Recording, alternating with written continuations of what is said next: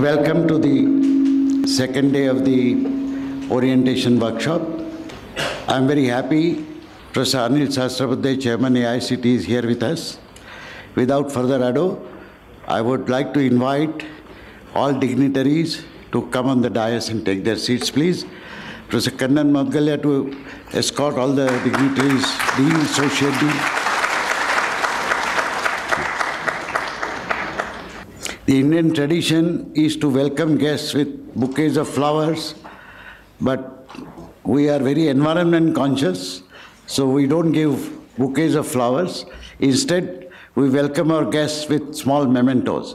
I'll request Professor Kannan Moudgalya uh, to welcome each dignitary with a small memento.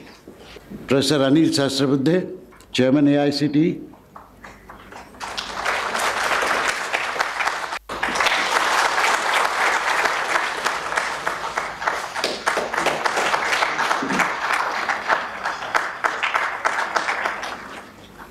Professor Ravi Sinha, our Dean of Alumni and Corporate Affairs, could not join us, but uh, it is due to his initiatives that we could conduct the FDP to commemorate which all of us have gathered here, because at that time there was some problem in the fund released by MHRD and we could not continue holding up our teacher training workshops, which we and IIT Kharagpur had been doing with the help of large number of remote centers here.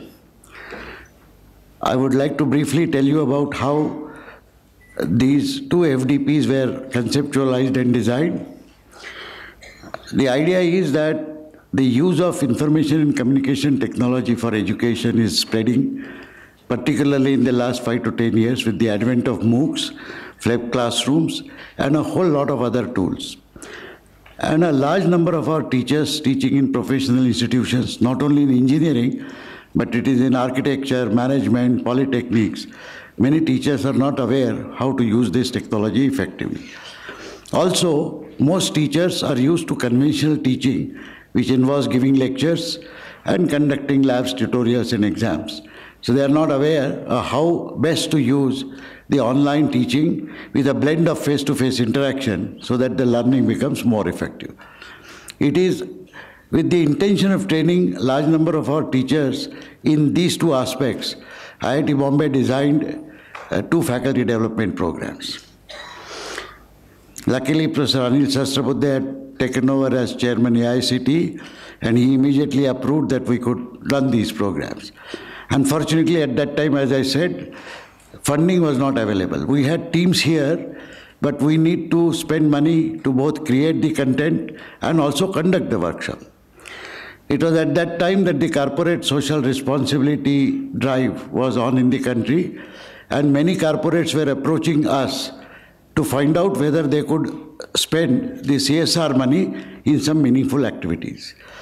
Amongst multiple people that we were in touch with, SAP came forward, they liked this idea, and SAP actually approved a funding to meet the cost of executing, designing and executing this workshop at our end.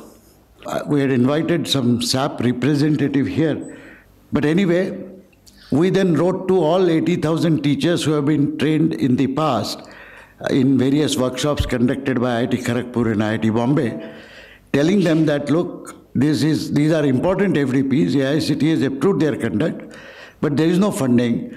So will you be willing to participate in these FDPs as self-funded FDPs? That means there will be no TADA paid to you. For face-to-face interaction, you will have to travel at your own cost, stay at your own cost, eat food at your own cost, and additionally, the remote centers which facilitate your face-to-face interaction with IIT Bombay during the conduct of the FDP will require will be required to be compensated to the tune of their expenses. All our remote centers are agreed that for an equivalent of one week of support, they would need about thousand rupees per participant. So we said the faculty participants will have to additionally pay thousand rupees to each remote center. We said they don't have to pay any fees to IIT Bombay because our expenses are being covered through some CSR grant. Many of my colleagues actually said, Phatak, this is impossible, nobody will join. Because all our teachers are used to being funded and supported for attending any faculty development programs or workshop. You yourself have been doing it with IIT Kharagpur for past three years. We said the feedback that we have received from the faculty in the past workshops, where we have specifically asked the question whether they will be interested in attending these workshops even at their own cost. And many had said yes, so I was very hopeful. I was very pleasantly surprised, along with all my colleagues, that over 4,000 teachers across the country registered for these FDPs. Sir, I'm very happy to tell you that there were 4,000 people who did not mind spending money from their own pockets because they saw value in this. We organized these two FDPs. A large chunk of activity was online. The modus operandi that we followed was that for every one day of physical face-to-face interaction, where teachers would spend anywhere between six to eight hours, we said for online activity, they can do exactly the same amount of work in one calendar week which means they can choose which six or eight hours to spend on that activity, because that activity would be online. Of course, there would be a quiz at the end of every week, which they must appear for, and they must successfully clear it. So there were five weeks of such online activities for the first FDP and similar five weeks for the second FDP. That means 10 weeks of total online activity. The assessment was rigorous. There were many people who did not qualify because of the rigorous assessment, but that is in the nature of things that we do at IIT, and that is what we should do everywhere anyway.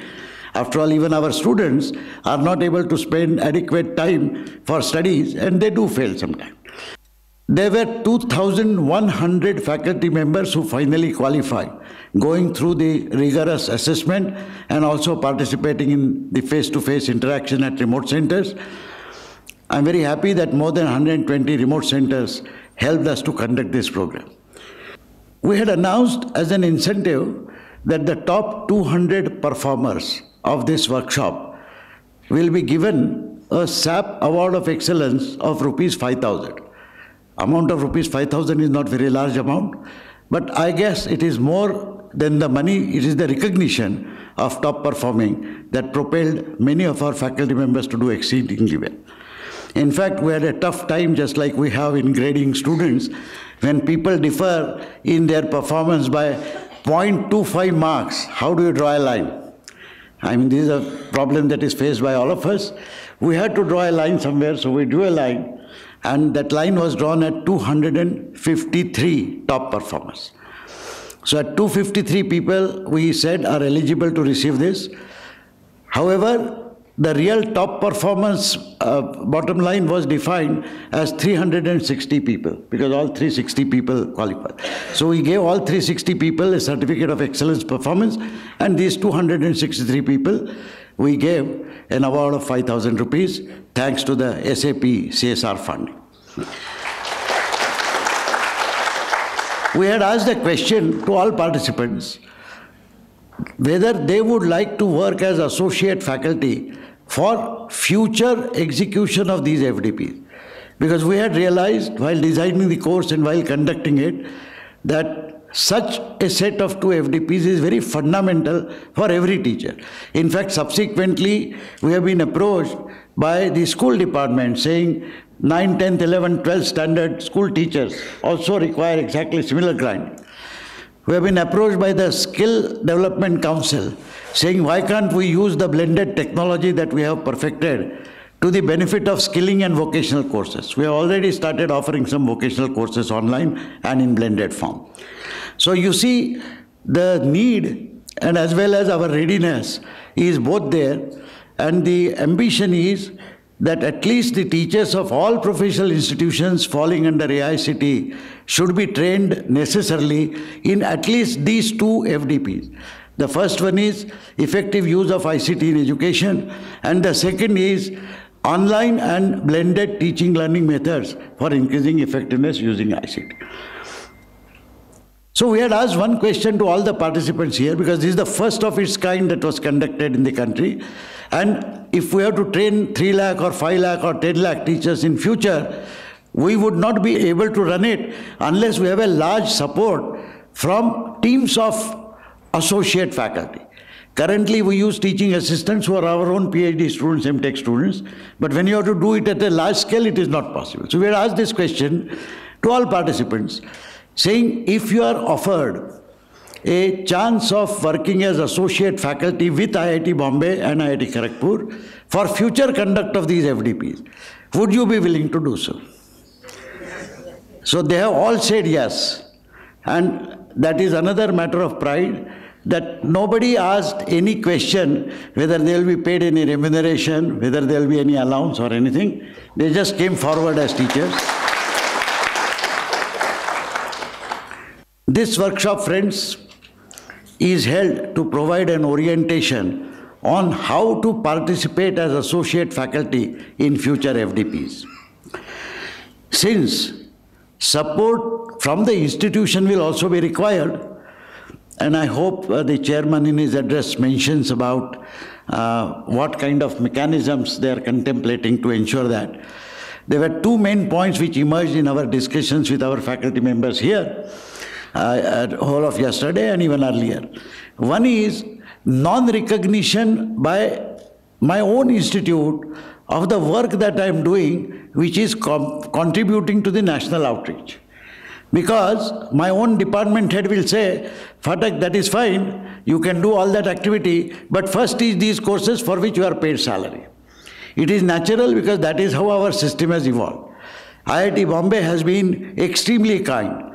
Many of us are given, without talking much about it, quietly given an allowance in our teaching load so that we can take care of this uh, large work. But this may not happen at every institute. That is one of the reasons why we also wanted to gauge the support that various institutions will be able to give. And we invited heads of those institutions from which the teachers have performed exceedingly well and are sitting here. There were 80 such institutions. We invited heads of those institutions also to join us today. I believe about 40 of them have uh, come here. Uh, unfortunately, I can't recognize faces. May I request all my colleague heads of the institutions to raise their hands, please, so that, wow, it's a large number. We will have, sir, some session with them separately to find out what kind of support that they can extend. But I would like to tell all our colleague teachers who have come here and also the respected heads of the institutions that these activities cannot be limited only to these 40, 60, 80 institutions from which the top performers have come.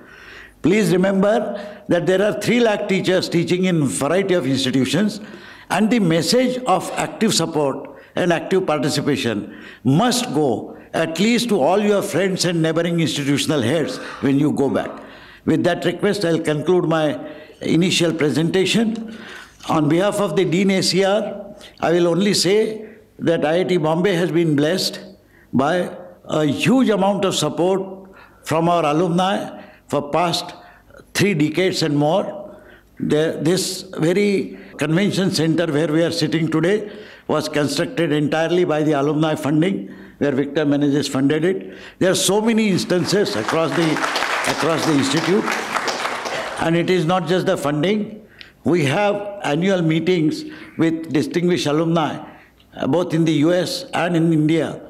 And we have regular consultation with the alumni in various departments. They very actively participate, giving their time and advice.